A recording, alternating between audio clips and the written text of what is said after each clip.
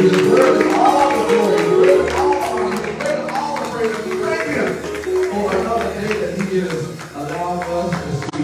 is the day. This is the day that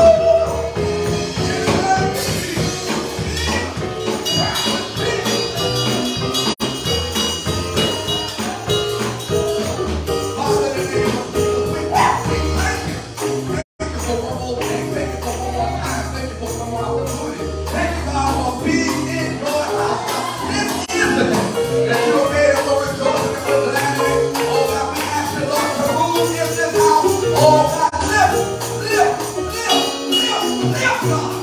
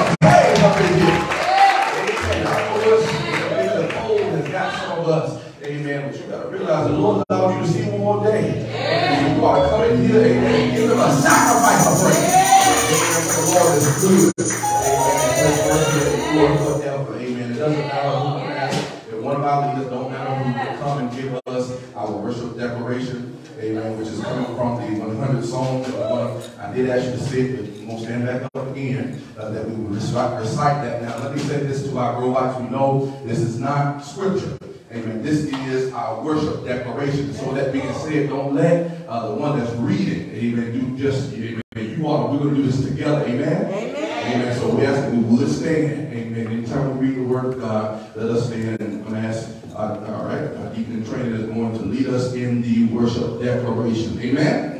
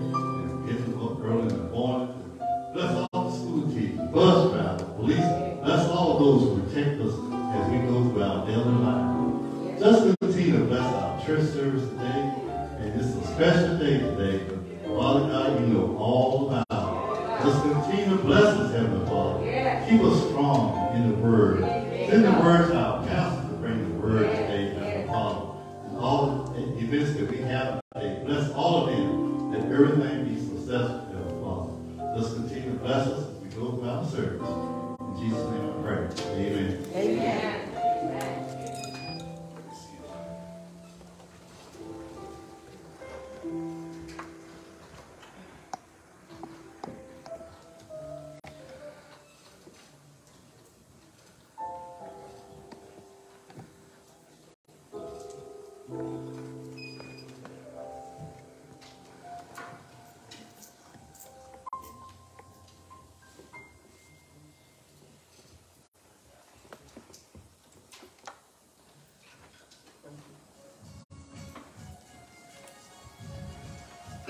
Worldwide family. These are your weekly observations.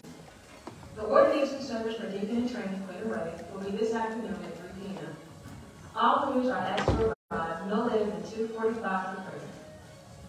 Homegoing services for Sister Marlene Vicky Gilbert are as follows.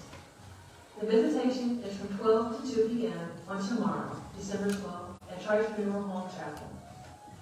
Funeral service will be held at 12 p.m. on Tuesday, December 13th at Poplar Springs Christian Church. The address is 6115 Old Stage Road in Raleigh, 27603. In light of so much happening around us and our community and our nation as a whole, Pastor Cobb is calling for corporate prayer on Thursday, December 15th at 7 p.m. Peace and Cobb with Pastor Cobb will be held on Saturday, December 17th at 6.30 here at the Grove. Please be advised that the sign-up has now been closed. To our Rising guests, please be advised that we will not have Sunday worship on Sunday, December 25th or Sunday, January 1st, 2023. Instead, our fourth Sunday worship experience will be held on Wednesday, December 21st at 7 p.m. And our first Sunday worship service for the month of January will be held on Wednesday, December 28th at 7 p.m. We will observe Holy Communion on the 28th. We will not have watch night service this year at the Grove. Instead, we will be participating in the Fuquay Ministerial Alliance watch night service on December 31st at 10 p.m. The services will convene at the Holly Springs United Church of Christ. The church is located at 116 3rd Street in Holly Springs. Reverend Jamal Brown is pastor. Thought of the week. When you feel you're drowning in life situations, don't worry. Your lifeguard walks on water. These are your weekly observations. Give our media department. So we are um, brief and then we'll turn it over to our evangelist Sims.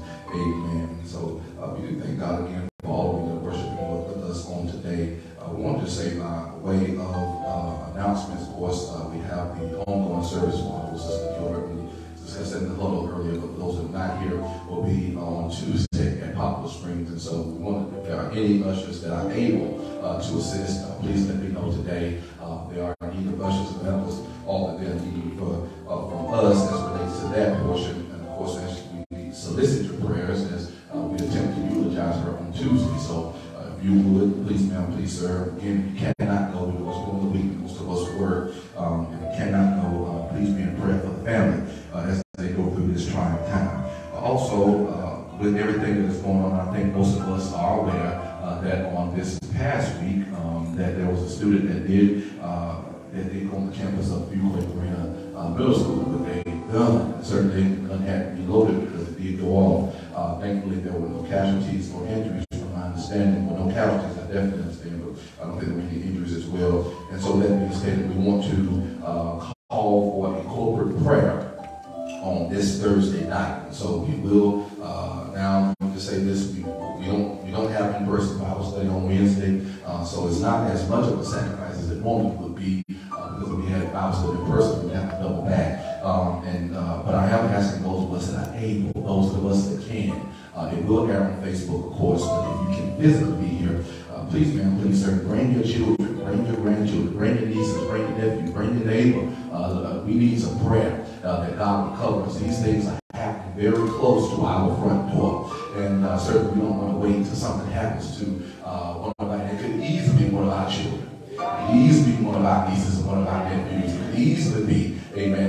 another way to where the gun went off and actually harmed somebody. So that being stated, we are calling for prayer on this Thursday.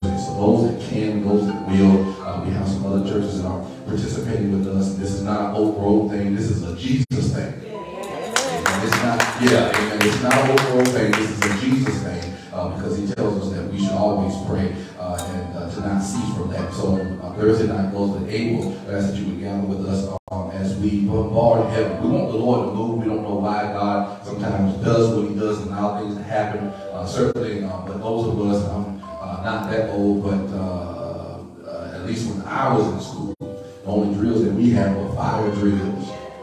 And every, every so often we have a tornado drill. Those were the only drills we ever had. And now our children are having to have these shooter drills.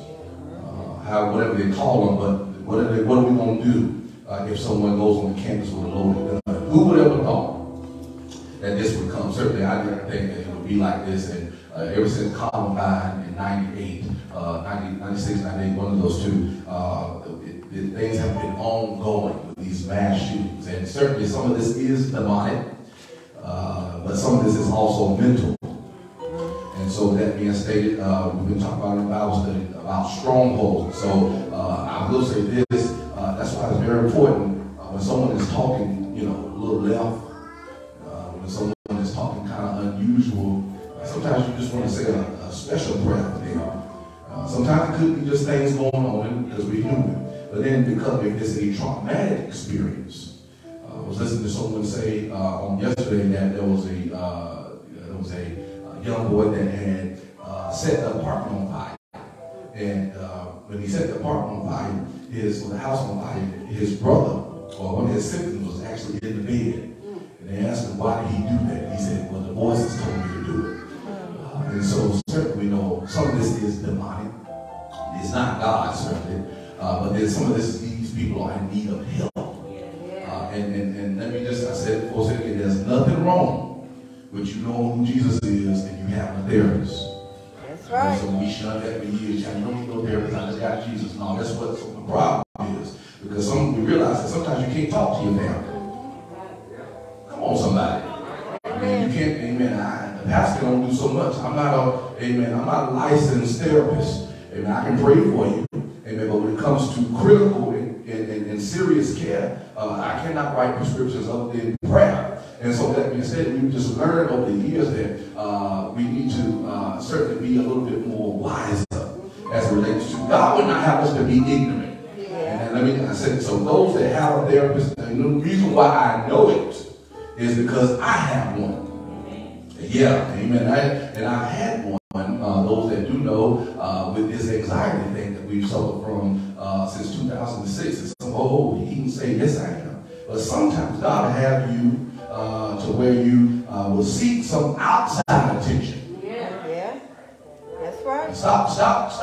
Folks that go get some Because sometimes they're the ones, uh, you're the one that really need to be there. All right. I'm being serious about this thing. Amen. So that's not knock folks. Amen. You know, you got some people, I don't go to a therapist, but you're taking 55 pills a day. Uh, sometimes if you go to a therapist, it can help regulate that stuff. And so I'm not making fun of him. Let's not make light of these things, is what I'm saying. There's nothing wrong with you going to a therapist. There's nothing wrong with you going to get help uh, and, and whatever you need. And a lot of pastors now are seeing therapists because of the load uh, since COVID. A lot of leadership are finding themselves in those predicaments, and certainly they're saved. Amen. But certainly sometimes you just got to do what you got to do uh, to make sure that you're functioning. Amen. If I'm not helping as a pastor, uh, then I can't help you as a people. And so I got to make sure I got, you know what I'm talking about? Amen. I can't be climbing up a wall and trying to prove something to you. I got, I got to minister to my own self. They don't need, they don't need a, in the house, everything is tore up, and I'm tearing up everything in the house, and everybody walking on eggshells, and, you know, we, you know, uh, I'm just, you know, Joe Clark. You know, and then get him trying to put an air, no, we have to be real. And so God wants us to be balanced. He wants us to be healthy.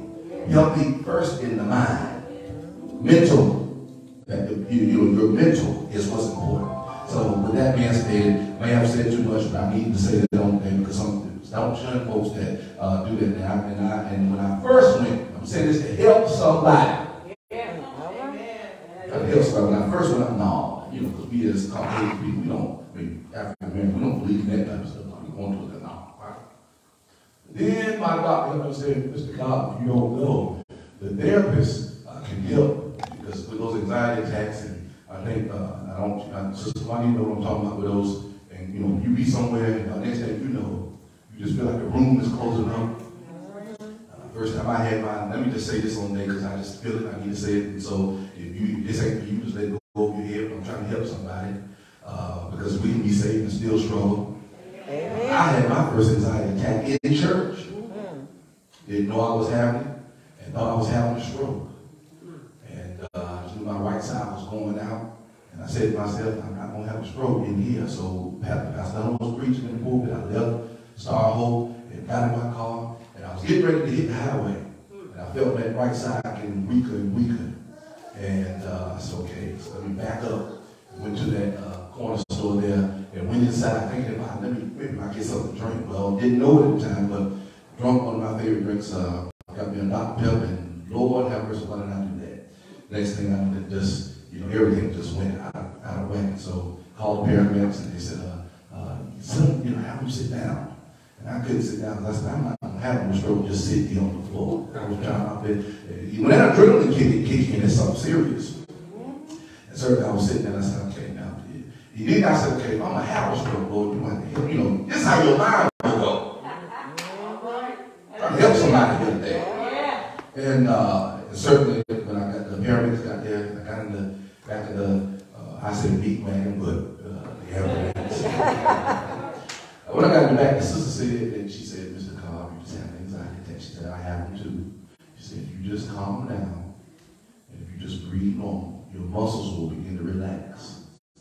And as I just began to relax, my muscles just began to relax, and uh, everything was well. Now I was I was plumb exhausted. My body had felt like I had been in a fight.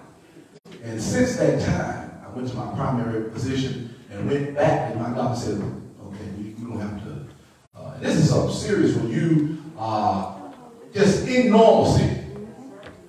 I mean, you going to the dry cleaners. Next thing I know, I'm driving on lunch break. Didn't go back to work because I'm in a, an anxiety attack. Couldn't drink caffeinated drinks because of anxiety. And, and, and, and had to take medication in the morning, take medication during the day, had to take medication at night. And uh, someone said, well, at that time I was not even in my 20s. Well, yes, I was my early 20s. And I never forget that the second anxiety attack uh, was uh, I was in the church. God rest his soul. Uh, Deacon Oscar Harris uh, came in the back of the church with me, and uh, he began to talk with me. And I just, and, and, and so I went through that and got, got all right. But someone said to me, they said, brother, you're going to always have these. They said, you're going to always have these. And because I always, because I have them for years. And so you're going to always have these. And I internalized that thing. And so I feel as if I could not overcome it. And for about two years, God delivered, and I didn't have to do anything. I didn't, I didn't take no medicine, no nothing.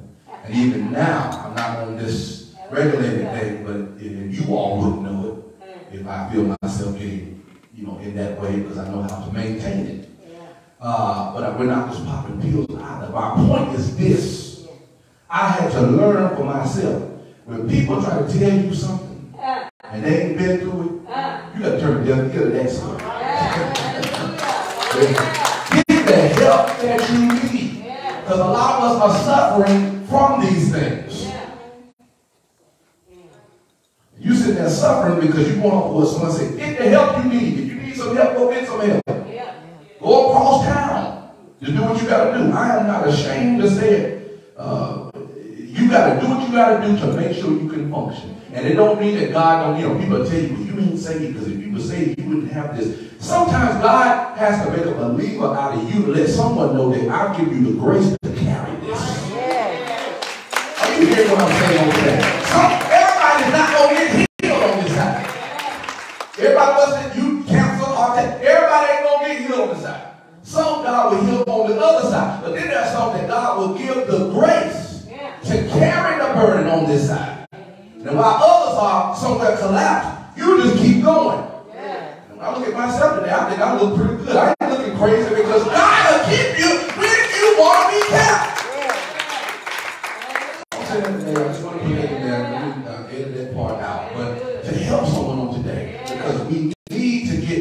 black church and we're uh, is we need to have these conversations. Yeah. Why are why do we see what we see in the house of God? And so that is more than just uh, uh, we didn't put a lock on it. Some of this stuff is uh, traumatic, and so uh, don't be ashamed. Amen. And, and, and so that being said, God bless you. Uh, that's my testimony. And when God, you know what, when God delivers you, you can talk about it. Yeah. you can talk about it. You like I can for me. Amen. And so that being said, we um, do thank God for that. All right, we're gonna uh, we're gonna worship the Lord real quick. Give one turn over to our Amanda Sims. Give her a hand as she comes forth and transition us through.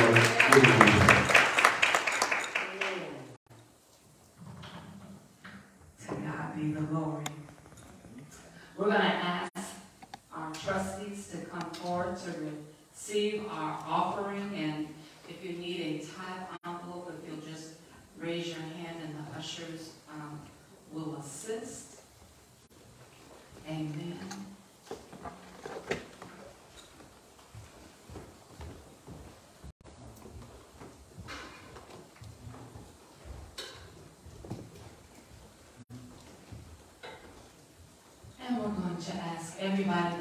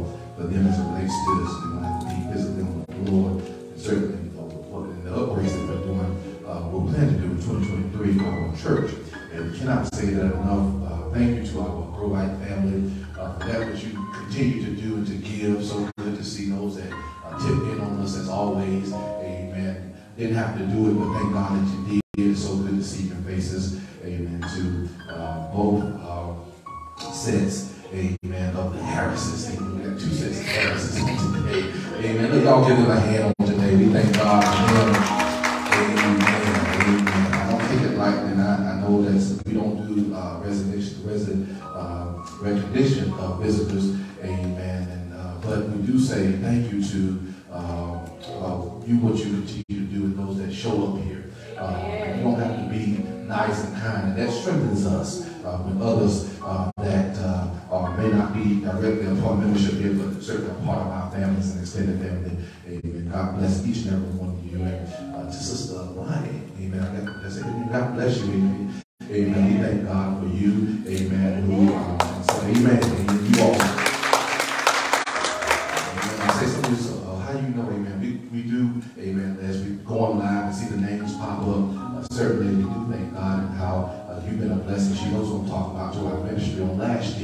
Amen. Thank God for, uh, for, for you and certainly to all of you that just continue. Cannot say thank you enough.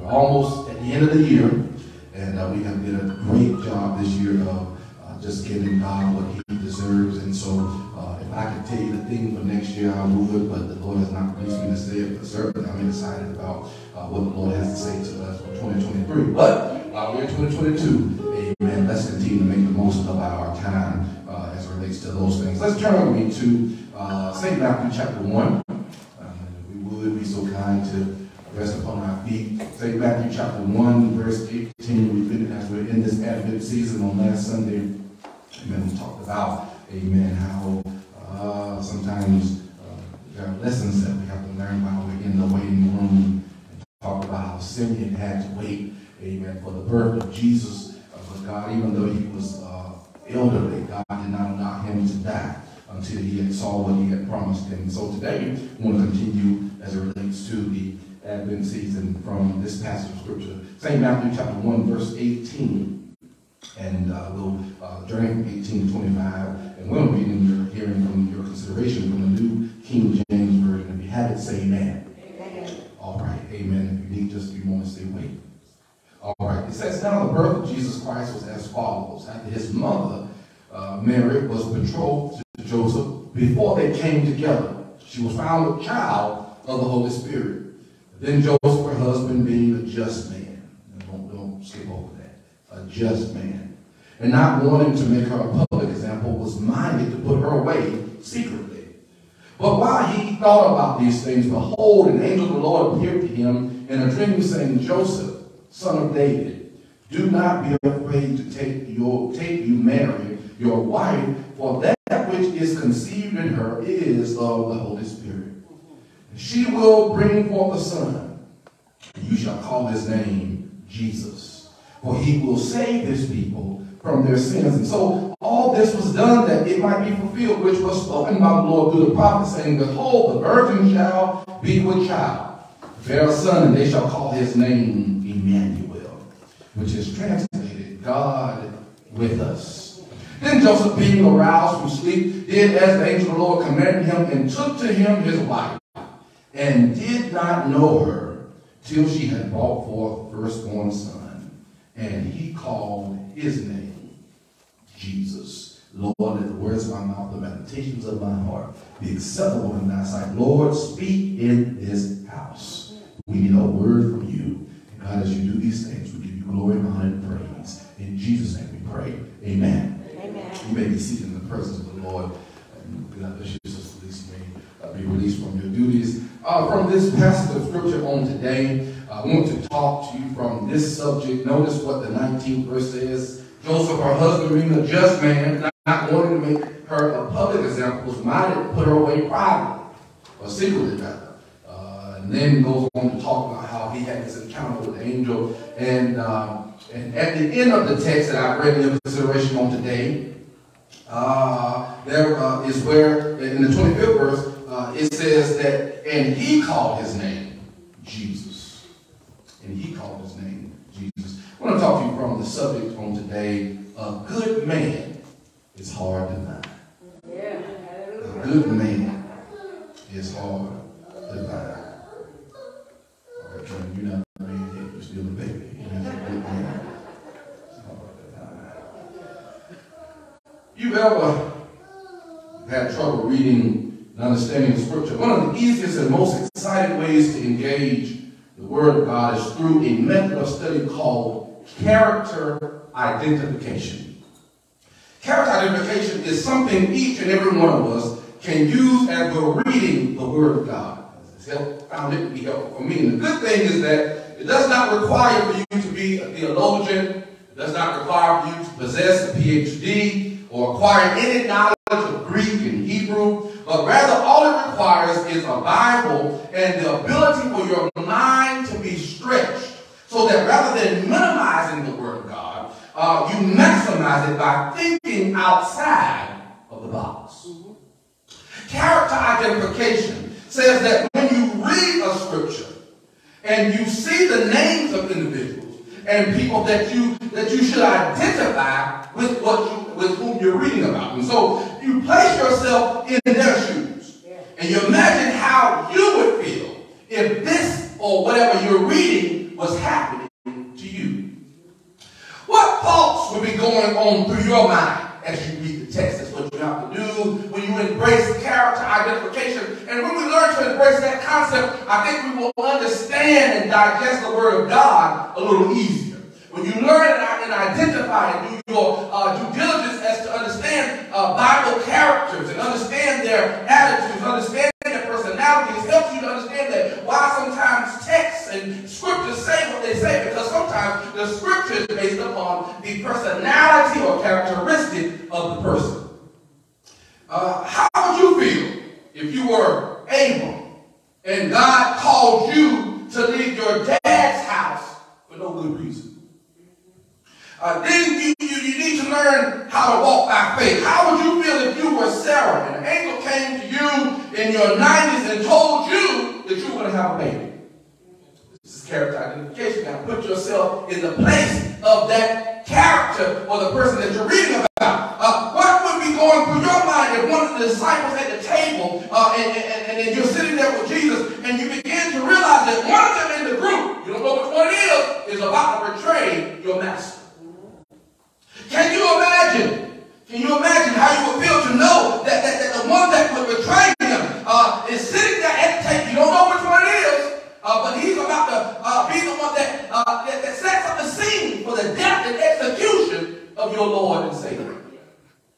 Can you imagine what Zacharias must have felt when the angel came and told him that his elderly wife was now fertile again and they had some things to take care of to bring the son into the world? What did Mary feel like as a young teenager who was engaged and a virgin, but yet being told that God has a plan for you that's going to cause you to be the mother of the Savior of the world? How would you feel? People, God, can you imagine what it's like to be married? So many times we, uh, and we know that the Catholics really adore her, uh, Hail Mary and all this, uh, but saints, it ain't about Mary or Joseph, it's about Jesus. Amen, somebody. Uh, but in the text of the day, what we're trying to bring to the forefront is when we think about what Mary and how she felt, we cannot forget to think about how Joseph must have felt. Man, stay with me because the truth is that the announcement of the birth of Jesus was exciting for everybody else except.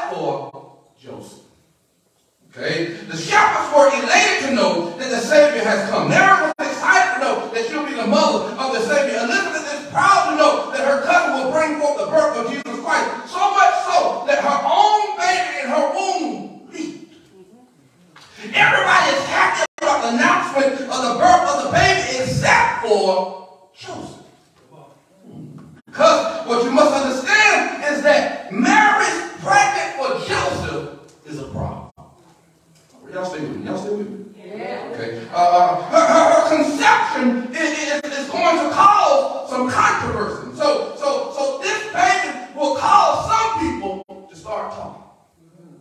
This, this pregnancy will be a source of embarrassment and scandal. Mary showing up pregnant has put Joseph in a dilemma where he's got to make a difficult uh, decision. What do I do with the woman who has broken her vow and shown up pregnant and she's engaged to be married to me. I don't understand this. They, they were not married yet when he found out that she got pregnant.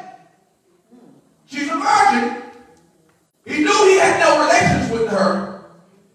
How would you feel if your woman, which was a virgin, you had no relations with her,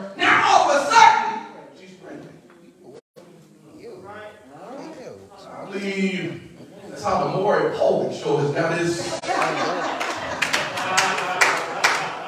Jerry Springer.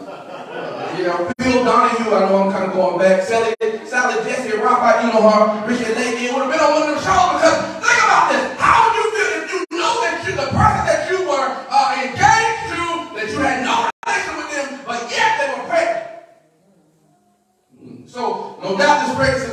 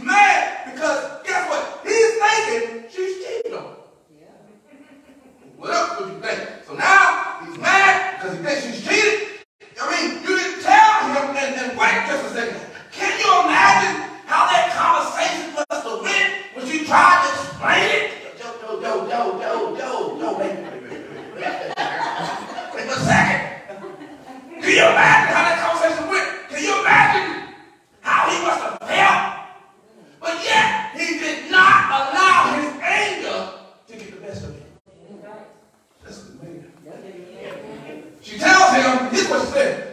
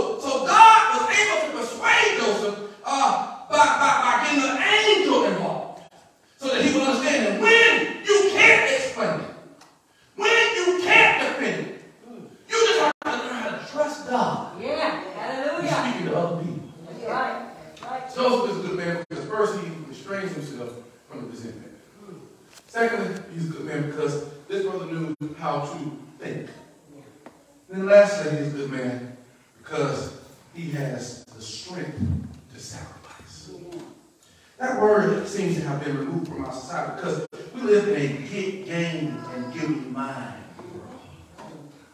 But Joseph shows us that if you desire to be in the plan of God, you must